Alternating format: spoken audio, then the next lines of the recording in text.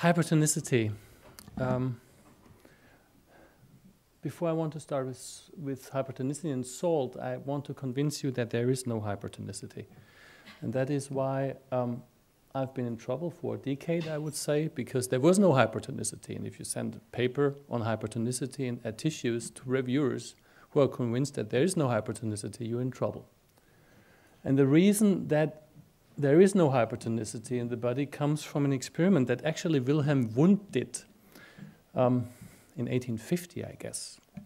And uh, he had a silver electrode and was the first, uh, with a silver electrode, he could measure chloride in the urine.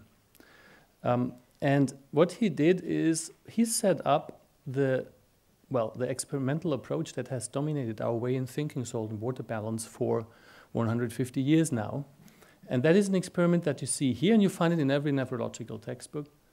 Um, this is a human being eating 10 grams of salt. That's an apple rice diet. That's what nobody wants to eat, and what Kempner gave his patients to treat their hypertension. And what you see here is a step change, a, a, fast change from very low to quite high salt intake. Today we would perhaps use 300 or 400 millimoles. At that time they used 150. Um, so there's a step change in, in, in, salt intake, and then you see how the kidney adapts to this step change. And you see that it takes the kidney about well, one, two, three, four, five, six days until this new level of salt intake is achieved. And that's what we call steady state. What goes, what goes in must come out. Homeostasis. Um, Walter Cannon, uh, 1930, The Wisdom of the Body. So what comes in must go must come out. Otherwise, and that's what you see here, because it takes a while, otherwise you accumulate salt. And here this subject has accumulated 150 millimoles of sodium or salt, which is 9 grams. So his body weight should increase by 9 grams, but weird enough, his body weight increased by 1 kilogram. And that's the next idea, um, next assumption that body sodium is always paralleled by water retention in the body. Because serum sodium concentration is 150 millimole per liter, 9 grams of salt, 1 liter of water, and that's what he has accumulated here. And that's the idea that now the extracellular volume is increased and that this leads to an increase in blood pressure. And that makes clear that we have to have a lot of regulatory mechanism designed to make sure that there's no change in body sodium content because otherwise we would accumulate too much water, our blood pressure would increase, and we would have edema wherever um, in the lungs or, well. So, total body sodium content is to be constant, very constant. So, the basic assumption or the paradigm on which all these things are built up is steady state sodium is always paralleled with commensurate amounts of water, and that's why there is no hypertonicity, because if you talk about hypertonicity, you have more sodium relative to water. And um, yeah, constancy. So that's what we have. And what we did then was designing a research program on this evidence. And of course, you then focus on the kidney and ask yourself, how is that organized that everything that went in comes out? Um, and if you identify that this is the kidney, then you would perhaps identify some cells, somewhere in the distal tubule, that was done in the 40s, 50s. And then you understand that there's transport and that there are perhaps channels. And after a while, you focus on genes that are responsible for the kidney and how the kidney handles the sodium. Now, that's all fine as long as you do not do the reverse approach. And everybody agreed that the reverse experiment to this is just coming back to a low sodium content within a few minutes and see how the kidney then readjusts. That's the reverse approach. But is it really the reverse experiment? Because what we have tested here is fast adaptation to dietary extremes. So isn't the reverse experiment, which we have never done, the response of the kidney to constant salt intake. I mean, we have extrapolated that if we eat constant salt, there will also always be exactly the same amount of salt um, in the urine. So if we eat 12 grams of salt, we will find 12 grams of urine uh, of salt in the urine. Now, we did that reverse approach, and we reasons are not, not important, but we managed to do a long-term sodium balance study. First experiment for 105 days, second experiment for 205 days in humans living under thermoconstant conditions. And we brought them all the food, and what we did is that we clamped salt intake constant. And the subjects ate everything for months and collected every drop of urine they made. A prediction would have been that after five days, this red line excretion exactly matches salt intake, steady state concept. But it does not. There's no reason for the sodium to meander around this clamped salt intake. And if you look more closely, you, you see that there's a six day rhythm, which is driven by aldosterone and cortisol without any dietary challenge, which is a rhythm that is generated by the body. And I do not want to go into chronobiology in the interest of time. Um, what I want to show you now is um, that, first of all, these data are accurate enough to now calculate changes in body sodium content within 200 days. Because really, in the end, what came into the simulator, into the facility where we did the experiment, really came out through their urine. We recovered 95% of the dietary salt with, within 200 days. But the day to day basis was somehow different. And if we now see that he sometimes accumulates and then excretes and again accumulates, the question is what happens to total body sodium? And that's what you see here. And that is even more weird. When we had them on 12 grams and on 9 grams and on 6 grams and then on 12 grams of salt again, you see that the changes in total body sodium did not give a damn about the amount of salt that had been eaten. And instead, we found an about one month to two monthly rhythm of total body sodium with well changes in total body sodium content of about 400 millimoles. Now the prediction would be that this subject um, accumulates about two to three liters of water, expands his extracellular volume, increases blood pressure. And here's his body weight at the same time, and you see there's, well, even a decrease in body weight. So the obvious question is, where is the salt? It cannot be in the blood volume. And if it's not in the blood volume, it cannot be controlled by the kidney exclusively. And that's what I would like to talk about in the next 15 minutes. So, just to have it a little bit more iconoclastic, we know that anatomically there are three compartments intravascular, interstitial, intracellular. What we have done during the last 150 years is that we have summarized, simplified the model, and summarized these two spaces into one extracellular space, where sodium is the major cation, which acts to hold water, determines extracellular water content. And what we think of the kidney, and I will come to, back to this dialyzer picture later, is that the kidney, in the end, dialyzes, purifies bloodstream. And our way of thinking total body sodium balance was that this purified bloodstream then passively dialyzes the interstitium.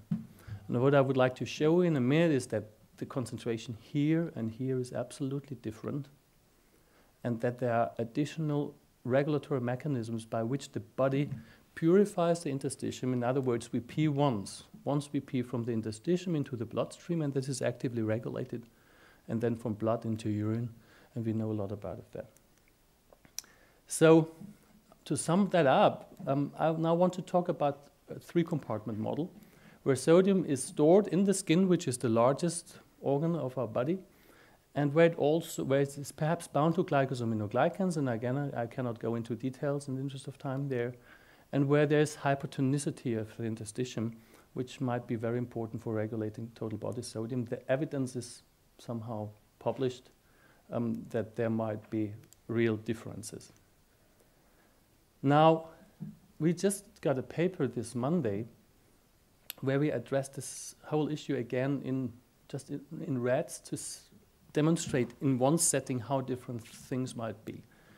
These rats were fed a low salt diet, these rats were fed a high salt diet, and you see if you measure serum sodium concentration, chloride concentration, or osmolality, there's no difference. That's what you expect. If we are working in the clinic, we draw blood, and we hardly never see any changes in serum sodium concentration, no hypertonicity.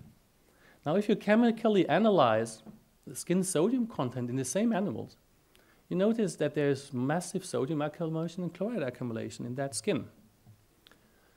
That doesn't say much because it could still be isotonic. That would mean that there should be a lot of volume retention in the skin as well.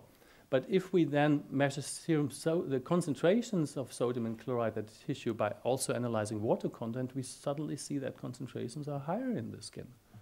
So in blood, isotonicity, and here there's something that might be hypertonicity if all this sodium were not bound to these negative charged surfaces of the interstitial space.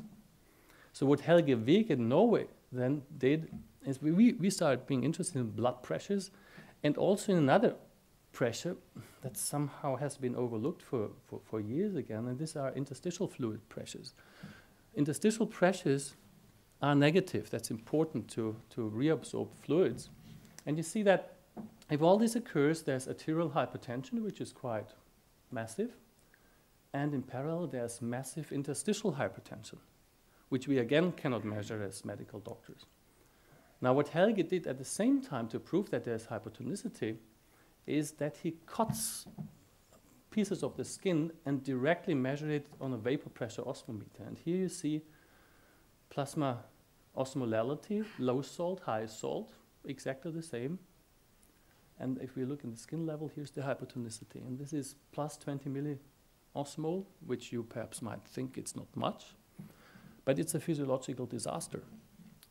Because at, if we think it model-wise, um, at 37 degrees Celsius, um, osmotic pressures um, that are generated by 20 milliosmoles are something about 500, 600 millimeter mercury. Um, so there are massive osmotic forces that we are not aware of in the interstitium, and I, what I, what I like, would like to show you now is um, that they are really regulated. If we, look into, if we look into the skin, in animals fed high salt or low salt, low salt, high salt, we suddenly notice all these red dots. And these red dots are macrophages, and their plan is not to destroy the tissue. They're not bad. Their plan is to regulate salt and water balance. What they do is that they sense the sodium overload in the interstitium, and by a transcription factor, TON-EBP, then induce a regulatory cascade. This TON-EBP binds to VGFC, vascular endothelial growth factor C.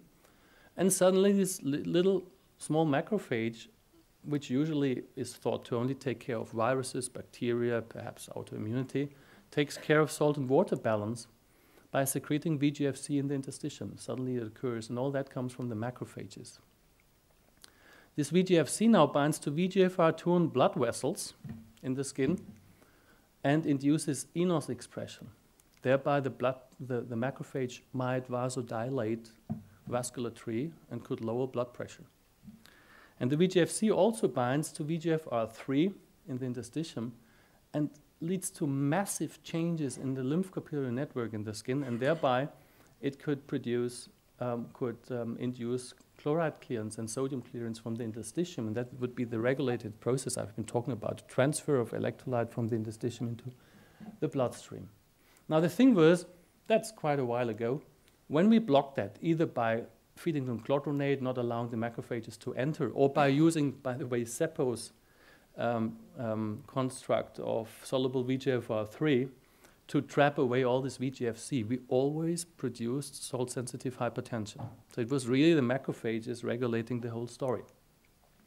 And that led us proposing a model where we said, okay, this clearance process is well known, the whole world has focused on it, and no question that this is important. I mean, if that doesn't work and we cannot transfer the salt from our body to the external world, of course, the whole system is messed up. But the point we wanted to make is that there is a second clearance process that we have overlooked where immune cells exert homeostatic immune function and where it is suddenly the immune system and the lymph capillary network that is important for maintenance of electrolyte composition and blood pressure in the body. Now, if we propose a local regulation of electrolyte, I mean, this would be the local, this is what we always thought, passively, passive equilibrium. Now we understand that there's salt storage in the skin, there are those sensors. They produce VGFC induce hyperplasia of lymph capillaries, thereby induce the clearance and regulate salt and water balance. Now, what would we need to prove that it is really this transcription factor, TON-EVP? Um, what we did is that we specifically knocked out TON-EVP in the macrophages with the flock strategy, LysM-CrE, um, TON-EVP floxed mice. And these are mice which are okay, and those are mice where we have knocked out this transcription factor. And you see if we feed them high salt, TON-EVP mRNA expression goes down. Now this TON-EVP binds to the VGFC promoter, and if TON-EVP is not there, VGFC mRNA doesn't go up. And it really looks as if, as if it were fake, but it was really the same values. And that also was true for VGFC. So VGFC levels were low. VGFC was gone if we knock out TON-EVP in the macrophage. Funny enough, chemoattraction was not altered by TON-EVP. So the macrophages still went into the salt overloaded tissue. Now, what we had was VGFC was gone. Next prediction is that lymphocapillaries do not become hypoplastic. This is wild type, intact animals, low salt diet, no macrophages in the interstitium, no VGFC production, lymph capillary is pretty small. Now look at that, it's really amazing. This is the change with high salt diet. That doesn't happen in the kidney at all. The skin is extremely um, reactive. Here, high salt, sodium storage, macrophages went inside, produced VGFC, and this is the hyperplasia. Now, these are animals where we have mutated the TON-EVP but did not cut it out because the LysM-CrE is not brought into the organism. And here we now deleted the TON-EVP, and you see that the hyperplasia is away. So we block the hyperplasia, and if we have blocked the hyperplasia in the skin, then we should have induced that upstream failure of clearance of electrolytes in the interstitium. And that's what you see here chloride content, massive chloride accumulation, and massive increase in skin chloride concentration. And if we now draw blood in these animals, no change in chloride concentration. Because the kidney is intact, we have induced an upstream renal failure of that kidney in the skin. And now, last question does that lead to blood pressure? Um, and indeed, they have salt sensitive hypertension. So, now by knocking out the transcription factor in macrophages, we induce salt-sensitive hypertension. Now we know that it's really the macrophage with this mechanism regulate blood pressure and electrolyte composition in the interstitium. It, of course, did not tell us how the macrophage does that. Because, as I told you, VGFC could bind to VEGFR2 and vasodilate blood vessels, or bind to lymphatics and um, um, induce the clearance. So um, a cardiologist, I guess, would say, well, it must be NO production. And a nephrologist would say, well, it must be clearance. So what would you guess?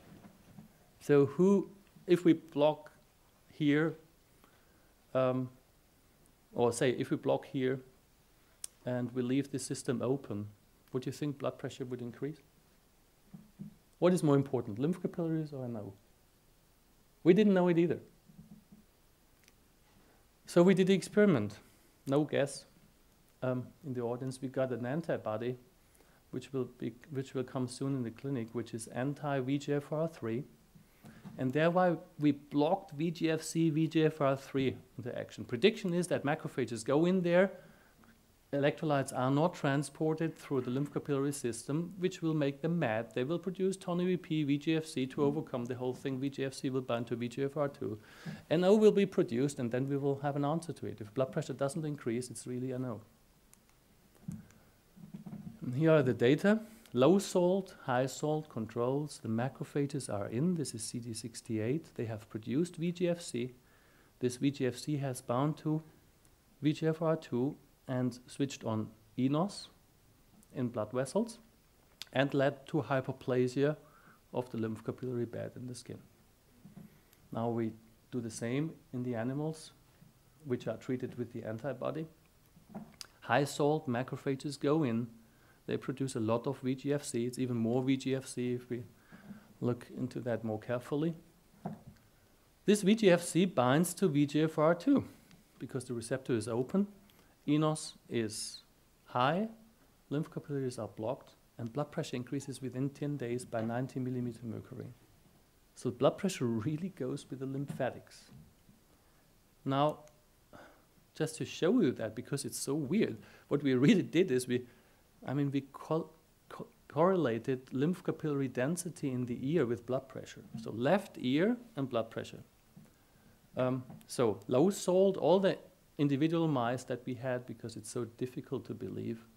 Um, no hyperplasia, that's what a hypoplastic lymph capillary bed looks like. And here are the antibody treated animals. And here are their blood pressures. And what we now do is we simply correlate gray values with blood pressure. And that's what we're doing here. Here are the animals which could compensate electrolyte homeostasis by intact lymph capillaries. Blood pressure is pretty low. And now you see the better the antibody blocks this hypoplastic response, higher blood pressure goes. And this is paralleled by chloride accumulation, not sodium accumulation. Chloride accumulation, not water accumulation. Chloride accumulation, hypertonic chloride accumulation, as you see here. So yes, it's the lymph, it's the macrophages, it's TonyVP, and it's the lymphatics that regulate salt-sensitive hypertension in this model. Now, this is all animal research curiosity, and I have understood that you are very interested in human research. So um, we did not sleep there. And the point was, we of, I mean, why, why could we do that? We, we simply decided that there is no need to draw another blood sample because sodium concentration will be again the same.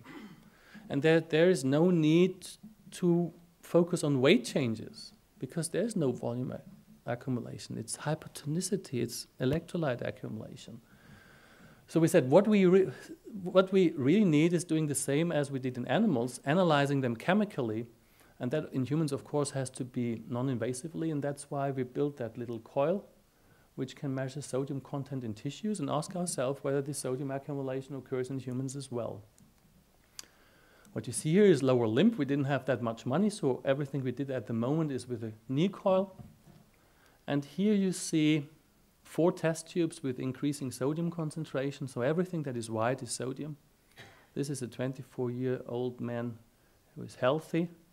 And this is an 85-year-old man with hypertension. And you see that he's massively sodium overloaded. These are, um, this is water. Of course, there's no volume retention. So hypertonic accumulation in skin and in muscle. Now you might say that this is only one. Here are 113 and you see that all of them, they accumulate, we all accumulate a lot of sodium with age, while water content is maintained constantly, constant. So there's really this hypertonic sodium concentration at the tissue level. Again, um, no marker that far discovered in the blood, um, but I think the direct measurements would do.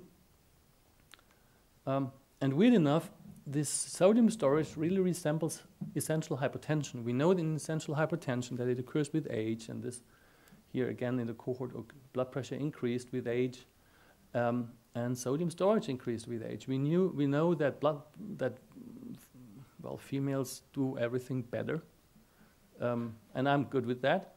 Um, and also that their blood pressure is better. The only thing that I do not like, I find there's one thing in gender research that I find it extremely unfair that they live longer.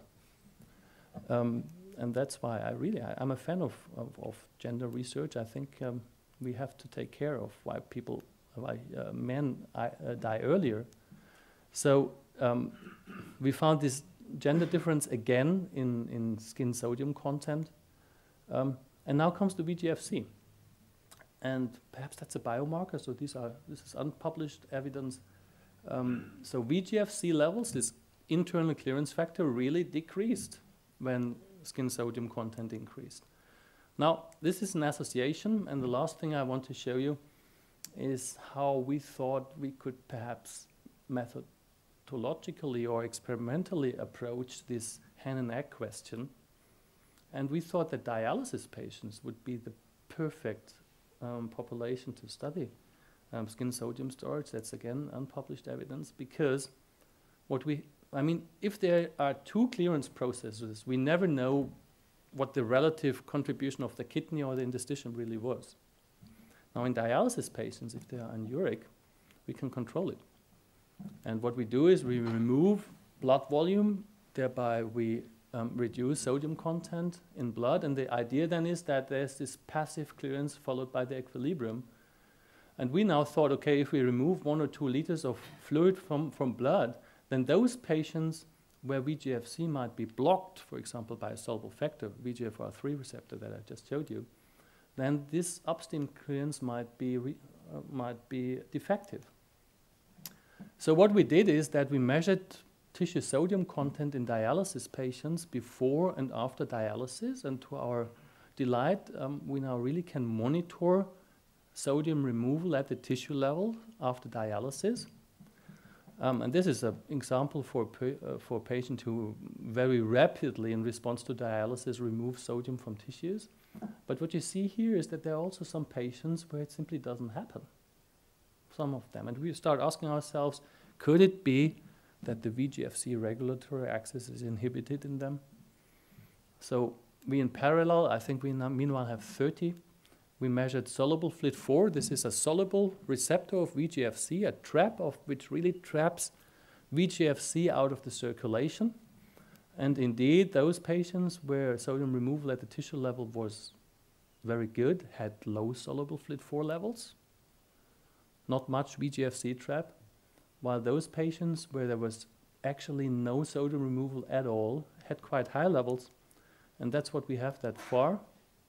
Um, so the higher the VEGF-C trap, and perhaps the lower the amount of biologically active VEGF-C, um, the worse sodium removal at the tissue level. Um, and these are the data that we have at the moment. IL-6 is not yet statistically um, significant. So to summarize that, um, I have shown you in the beginning, it was a long journey, 25 minutes through salt and water balance. I showed you that um, there is hypertonicity at the tissue level, that this is regulated, that we cannot see it clinically because it's hidden. You cannot find it when, in your blood samples, and changes in body weight will not help you either, and that's a problem. Um, and this now, of course, leads to the question what is clearance? it was enough for us to say, well, the kidney does the job and everything else is, uh, is negative. Now we understand that there is storage and that the storage is regulated, actively regulated through the lymph capillary bed, and that really hitting the system locally at the tissue level leads to sodium accumulation at a perfectly intact kidney. Now, we know that there is sodium storage in humans as well that it increases with age, that it resembles the gender or mimics the gender difference we know in salt uh, in, in essential hypertension in humans. We do not know whether this is a disease yet. That's why we want a multi-center trial with 2,000 patients. We want to follow them up for five years and see whether those patients who are in sodium excess really are at risk for developing cardiovascular um, disease. And only if it's a disease, then we will focus on how st sodium storage could be prevented or which drugs will mobilize sodium uh, from these stores. And what I'm most interested, I must admit, is the question what is really immune function? Because I believe it's much more than adaptive or innate immunity. Um, I'm, I'm really convinced that the plan of immune cells is also to make sure that there are not too high levels of salt and water